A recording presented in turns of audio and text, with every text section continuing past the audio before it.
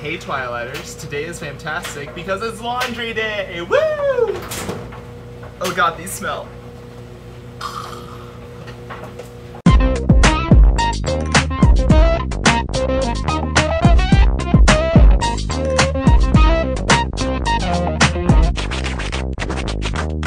Today is also fantastic because I just uploaded iMovie 06, which is like a bajillion times better than iMovie 08. And iMovie 08 I was using didn't have double speed or rainbows. I mean, how sucky is that? So as you might have noticed, we're all pretty busy doing our own stuff with school starting and stuff like that. So uh, don't be too hard on my Twilighter girls. They're working really hard. The stress has been like, kind of like that. Yeah. So anyway, I didn't really get to talk to my other Twilighter girls about what the topic was going to be this week, but we were kind of throwing this idea around, and I think that's what we're going to go with. So this week's theme is Minor Character Appreciation Week. Uh, we all pick our own favorite minor character from Twilight or any of the Twilight Saga books, and we talk about them and just different stuff involving our favorite minor character. So for my minor character this week, um, I decided to pick Marcus from the Volturi because I think he's hilarious. Um, he really just doesn't care about anything. And um, yeah, I just find him a really funny character. So the reason I really dig uh, Marcus Volturi as a minor character is because he's not he didn't really want to be part of the other Volturi, you know? If none of you know about Marcus, he and his former mate Didyme actually wanted to leave the Volturi. They didn't want to be part of the Volturi anymore. But when uh, Aro figured out that Didyme and Marcus were planning on leave, leaving, he killed Didyme. And that just left Marcus all alone. So Marcus is really just there because he has to, because he knows he'll be killed if he tries to go anywhere. Which kind of sucks you know, I feel I kind of feel for Marcus, and um, I just think his constantly bored attitude is so hilarious. Like it just adds that little bit of like comedic relief, especially during some of the tense scenes and Breaking Dawn there at the end, or even in like New Moon when she's in Volterra and Bella's just like,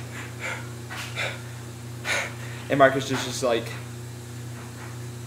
I'm kind of surprised you're so close, but I don't really care. It just makes me think of Didyme. Because I don't think Marcus can really be happy without Didyme. Uh, Didyme's power was to make people happy, and I don't think that's necessarily what hooked Marcus. But without Didyme in general, he can't be happy. It's like his happiness was destroyed. Because it was his mate, it was the person he was planning on spending the rest of his life with. And so I just think that kind of sucks for Marcus. He's just so like you guys suck because you killed my wife. So I'm not really gonna do anything. Another reason I like Marcus is because I like some of the other Twilight characters. I had a really clear picture of who he should be played by um, without thinking of people who'd already been cast, you know? Like for Bella, I had like kind of a vague image, but I always, now I always see her as Kristen Stewart just because she's been cast that way. Marcus, however, hasn't been cast, and I think that he should be played by Alan Rickman, the guy who played Snape in Harry Potter, because he just has that perfected face. Like, he just doesn't care at all. He's just like, I don't care. I am Snape.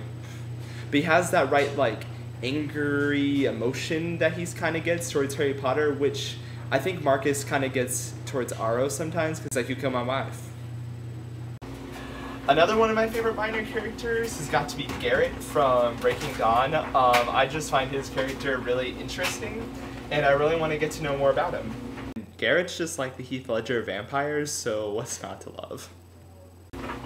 Another one of my favorite minor characters is Benjamin. I really like that he's able to control the elements because I think it makes me really curious about what he was like as a human that would make him able to control the elements. And, you know, I just think he's really cool because he's all like, I'm Benjamin of the Egyptian clan. Earth, fire, wind, water, heart, Go planet! You know what I'm saying? Okay, so um, I looked it up on yellowpages.com for a Jay Hale right here in Norman, Oklahoma, and I'm about to give him a call. Ashley, this is probably one of the most embarrassing things I'll ever do in my entire life.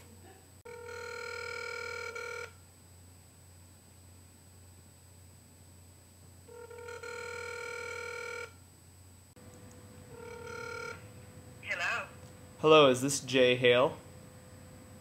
this is. Um, hi, my name is Jay Jenks, and I have your documents for you. What documents? Um, well, I'm not allowed to say at this time, but I would like to meet you to give you documents. expecting any documents, so I don't doubt that you have any documents for us. Thank you very much. the lady sounded so mad. Why did she have to? She should have gone along with it. That would have been so much funner. Oh.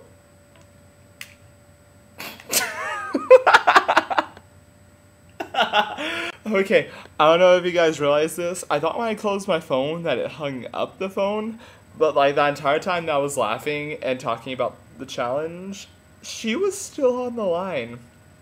So I have a feeling she's gonna be calling me back, or she's just gonna think I'm crazy. But that was really fun.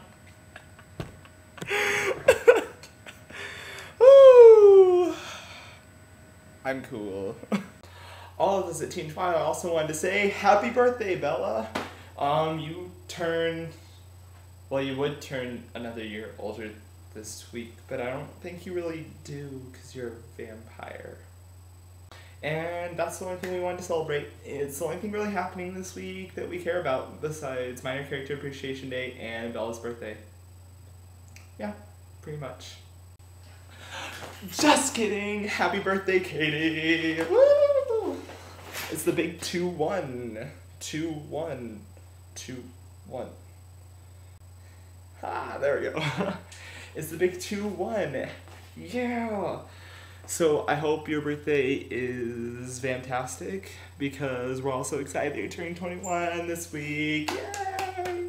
And I almost forgot. My challenge for this week is. In honor of it being Katie's birthday this week, whoever gets my challenge has to tell me what their number one top absolute favorite mo- Katie moment is. Um, it could be from Team Twilighter, um, personal moment, or from her personal channel Bella Rocks Music, or otherwise. It could even be from Chasing Quaffles. So, just let me know what your favorite Katie moment is. Okay, so today I'm wearing cargo pants. I have two pockets here, two pockets down here, a mini pocket over here, and of course two back pockets. So Amanda's going to hit one of my pockets, and whichever one that is, that's who gets the challenge. Alright, here we go. Pick Amanda. Oh. oh. Let's see. That one is Sarah. Have fun with the challenge. Also, for this week's video suggestion, um, you should go check out some of my uh, favorite Twilight VMA reaction clips. I'll post links in the sidebar, and you can also go to MTV's blog site, which I'll also post a link to in the sidebar, and check out some of the videos from people like me and No Marbles and their reactions to the Twilight VMA.